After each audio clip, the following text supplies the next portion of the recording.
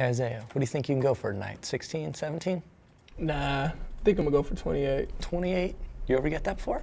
Yeah, last year in Davis. All right, good luck with that. Feeling brave, huh? Yeah, 13, 21, and 28. Yeah, spicy kung pao chicken. Right, thanks. 15 minutes.